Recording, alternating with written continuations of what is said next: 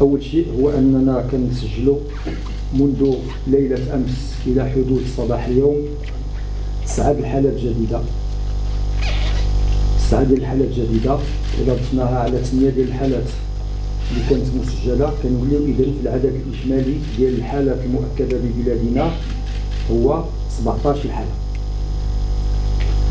هاد 17 حالة كيف ما تبعتوا معنا. حالة منها مع الأسف كانت توفات اللي كتعلق بديك السيده اللي كانت عندها عدة أمراض مزمنة ومتقدمة في السن.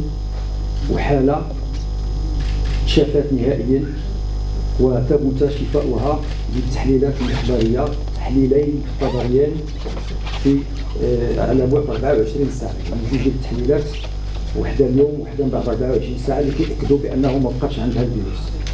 ال 15 اللي كيبقاو بطبيعة الحال لا زالوا تحت العلاج في الوحدات الاستشفائية المخصصة لذلك في العزل بطبيعة الحال من أجل تفادي أن يكون هناك انتقال للفيروس إلى أشخاص آخرين وحالتهم الصحية جيدة جدا.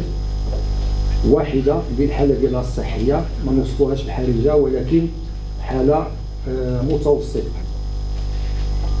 إلا بغينا نزيدوا ندقوا أكثر باش نعطيو لكم المعلومه اللي كنتوفروا عليها الآن هو أنه هاد 17 حاله 11 منهم الجنسيه ديالهم مغربية مغاربة مغاربة عائدين من الخارج.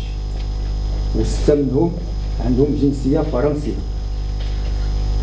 هذا من ناحية ديال الجنسية ديال 17 ديال الأشخاص. 10 منهم ذكور وسبعة منهم إناث. معدل العمر ديال الحالات 17 لأن دابا ولاو عندنا حالات يمكن لنا نعملوا عليها بالإحصائيات ديال لي ستاتيستيك معدل العمر هو 51 سنة.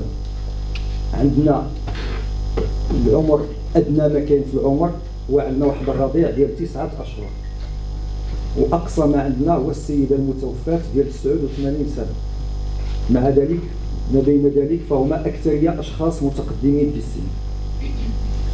المنطقة اللي لأن هذه الحالات كلهم جابوا الإصابة من الخارج باستثناء حالة واحدة ديال الزوج اللي جاب الإصابة من الخارج وعاد الزوجة ديالو في المحيط ديالو. فهذا علاش كنأكدوا وغادي يمكن نرجعوا لها على الإجراءات المتعلقة بجرد المخالطين وتقييم الخطر بالنسبة للمخالطين والإجراءات الوقائية اللازم اتباعها من طرف المخالطين. فالدول اللي جاو منها هاد 17 ديال الحالات كاين تباعا ستة دخلوا معاهم الفيروس من فرنسا وخمسة جابوا الفيروس من إيطاليا وخمسة جابوا الفيروس من إسبانيا وكتبقى الحالة اللي بقات هي الحالة ديال الزوجة اللي تعادت عن طريق الزوج ديالها.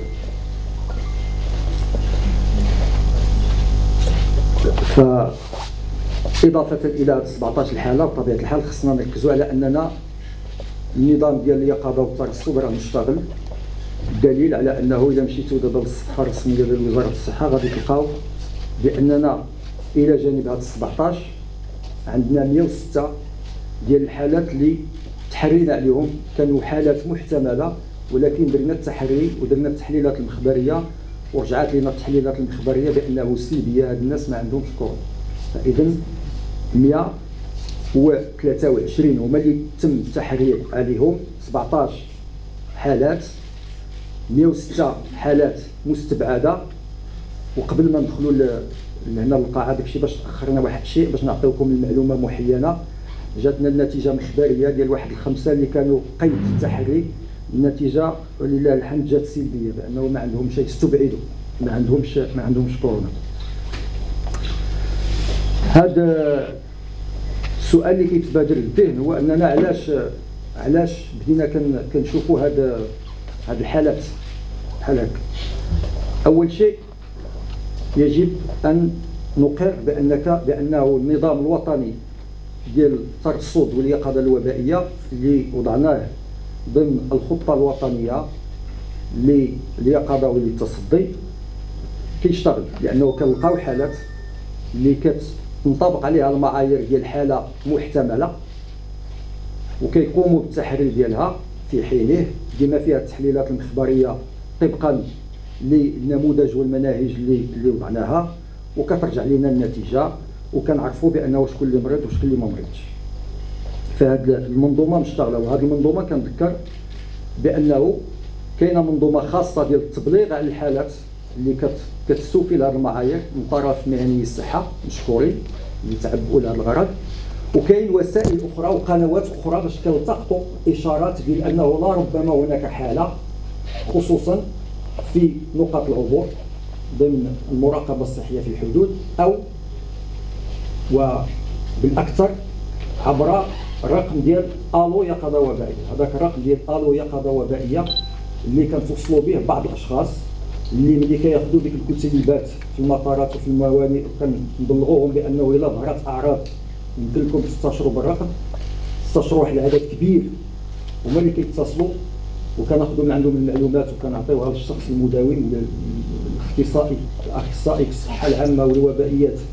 هو اللي كياخذ المعلومة ورقم الهاتف وكيتكلم معهم مباشرة وكياخذ معهم جميع التفاصيل وكي وكيلاقيهم مع المسؤولين في الجهة على الصحة العمومية باش كيبعثوا لهم الفرق لعين المكان ويتم التكفل بهم في المستشفيات اللي خصنا لذلك ما تنساوش تابوناو في لاشين يوتيوب وتفعلوا الجرس باش يوصلكم الجديد أيام 24 عيونكم التي لا تنام.